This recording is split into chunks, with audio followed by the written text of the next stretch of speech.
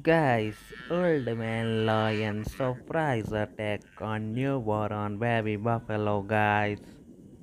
Unbelievable guys. Oh no. Caught it, caught it guys.